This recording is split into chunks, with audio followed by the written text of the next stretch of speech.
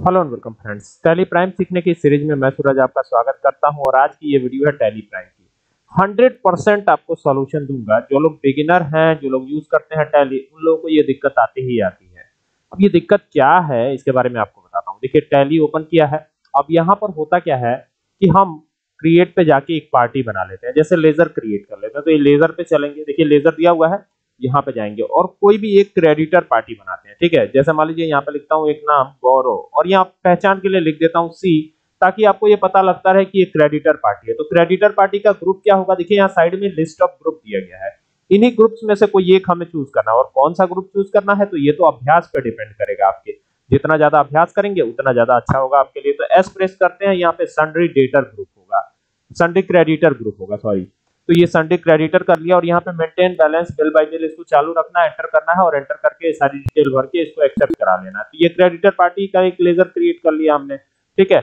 अब इस creditor party के लेजर पर हम एंट्री पास करते हैं। तो सीधा सीधा क्या करते हैं? वी बटन प्रेस करके चलते हैं कहा परचेज में। इनसे कुछ सामान परचेज करेंगे, उसके बाद हम आगे की बात करेंगे। तो इन्होंने एक बिल दिया है जिसका सप्लायर इनवॉइस नंबर चार है, ये हमने डाल दिया। और यहाँ पर डेट चेंज करेंगे। तो F2 प्रेस करके एक चार दो हज़ार तेईस करेंगे यहाँ पे तो ये डेट चेंज हो जाएगी हमारी। आ, कह रहा है कि date can not be above the current period तो करंट पीरियड से ज़्यादा डेट नहीं होना चाहिए। ये भी एक परेशानी आपके साथ रहती है तो इसके लिए आपको क्या करना है? ऑल्ट F2 करना है। ठीक है तो यहाँ बाईस तेईस दिखा रहा है फाइनेंशियल ईयर ठीक है तो यहाँ पे एक चार दो से इकतीस तीन दो करना होगा। अब ये सही हो जाएगा अब यहाँ पे डेट भी चेंज हो जाएगी। तो यहाँ एक चार दो करेंगे तो अब ये हो जाएगा। ठीक है यहाँ पर मैनुअली भी एंटर कर लीजिएगा आप एक चार दो हज़ार तेईस तो दोनों जगह चेंज हो जाएगा। आप यहाँ क्रेडिटर पार्टी का लेजर लगाते हैं आप और सारी डिटेल फिल करके एंटर करते हैं। एंटर करते हुए यहाँ पे जीएसटी आई नंबर इनका डाल सकते हैं। यहाँ देखिए ये जो मोड है थोड़ा अलग टाइप का है।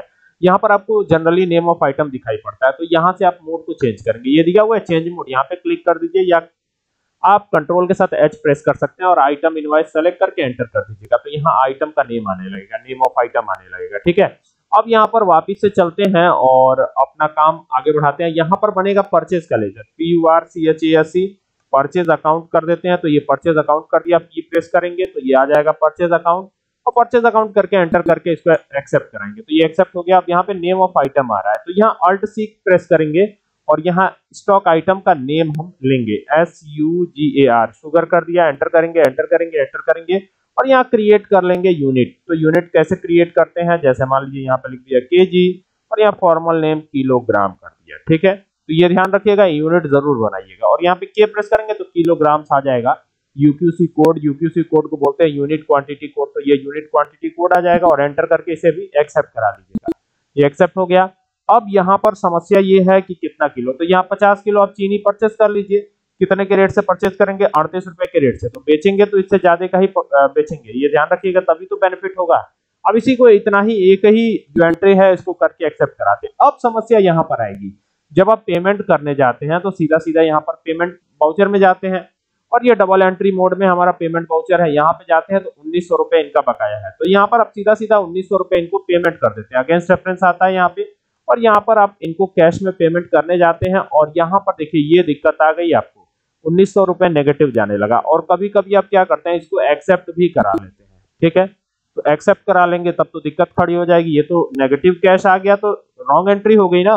तो ये रॉन्ग एंट्री ना हो आपसे, या हो गई है तो इसको कैसे सुधारेंगे? दोनों चीज़ है इस वीडियो में। तो देखिए, एक तो ना हो, इसके लिए क्या करेंगे? पहले रिसिप्ट बाउचर में एंट्री पास करेंगे।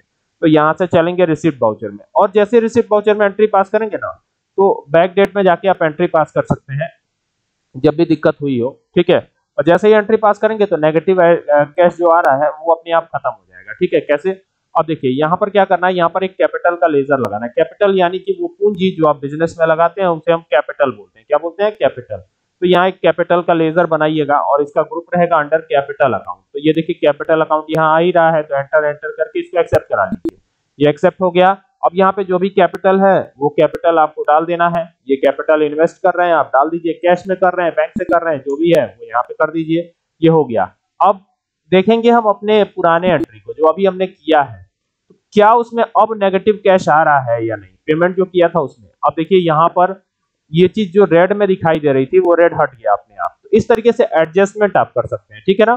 तो बात समझ में आ गई होगी, ठीक है? तो अगर कोई दिक्कत हो तो बताइएगा कमेंट करके okay Thank you for watching this video.